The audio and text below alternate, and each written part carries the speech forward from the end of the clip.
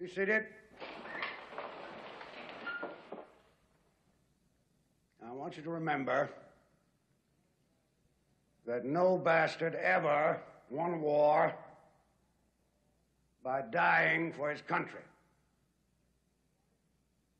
He won it by making the other poor dumb bastard die for his country. Men,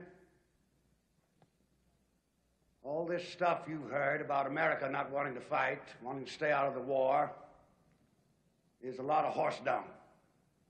Americans traditionally love to fight. All real Americans love the sting of battle. When you were kids,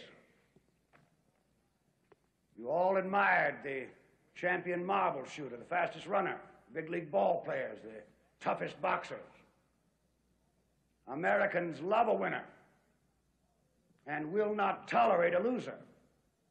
Americans play to win all the time. I wouldn't give a hoot in hell for a man who lost and laughed. That's why Americans have never lost and will never lose a war.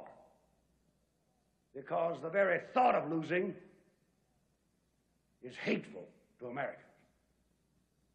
You gotta tell them Soylent Green is people!